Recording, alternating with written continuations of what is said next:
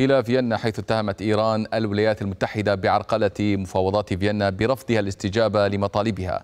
وقال وزير الخارجية الإيراني أمير عبد اللهيان لصحيفة فاينانشال تايمز البريطانية إن الولايات المتحدة الأمريكية فشلت في الاستجابة لطلب إيران بمنح ضمانات حول عدم انسحاب أي من الأطراف من الاتفاق النووي.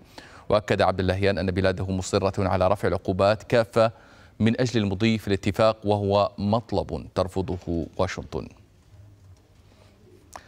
للتفاصيل معنا من فيينا مفدنا أشرف سعد. أشرف أهلا بك. يعني هل ما يجري الآن ضمن المناورات المعتادة من قبل إيران أم أن هناك بالفعل ضغط عليها؟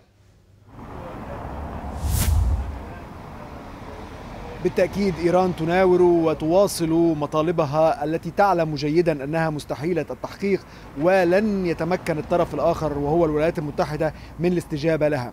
اولا كانت هناك قائمة ب 300 شخصية ومؤسسة إيرانية تطلب إيران رفعها من قائمة العقوبات على الرغم أنها عقوبات لا علاقة لها بالبرنامج النووي الإيراني وتحديدا رفع أسماء مسؤولين إيرانيين من قائمة الإرهاب أو من قائمة المنظمات الإرهابية وهذا بالطبع لا يمكن أن تقدم عليه واشنطن.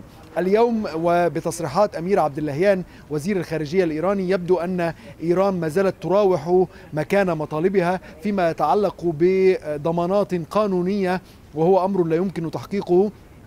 ضمانات قانونية لعدم تكرار سيناريو انسحاب الرئيس الأمريكي السابق دونالد ترامب من الاتفاق. قال عبد اللهيان إنه أوعز للمفاوضين هنا في فيينا بأن يطلبوا من الدول الأخرى المتفاوض معها أن يصدروا رؤساء برلمان يصدر رؤساء برلماناتها أو البرلمانات بشكل عام بيانا رسميا يدعم الاتفاق كمحاولة للتصديق شبه الرسمي على هذا الاتفاق وهو بالطبع أمر وصفه المحللون بأنه من قبيل الخيال لأن الرئيس الأمريكي جو بايدن لن يتمكن من الحصول على دعم كاف من الكونغرس لإصدار بيان مشابه. نعم. هذا بالطبع بالإضافة إلى أن الدول الأخرى لم تنسحب أصلا من الاتفاق وبالتالي فصدور هذا البيان أمر صعب للغاية. اذا من فيينا أشرف سعد.